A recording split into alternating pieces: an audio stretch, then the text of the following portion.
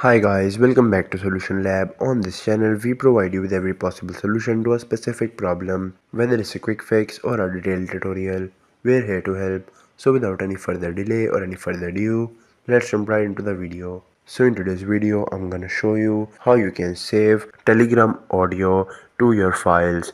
It's a pretty basic and easy thing to do, so just follow the guide. First thing first, if you haven't already subscribed to Solution Lab, please consider subscribing and hit the bell icon so you'll get notified from our latest videos. Now let's jump right in.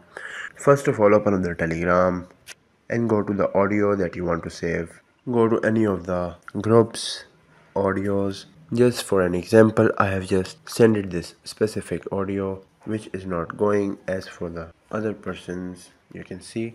But the option you will get is just hold on that specific audio and you will get the option of save or download to files. Simply tap on that and it will be saved to your specific files I hope this tutorial was helpful and informative. If it was, please give it a thumbs up and consider subscribing to Solution Lab for more helpful tutorials. If you have any queries or suggestions, just leave them in the comments below. Till then, take care. See you next time.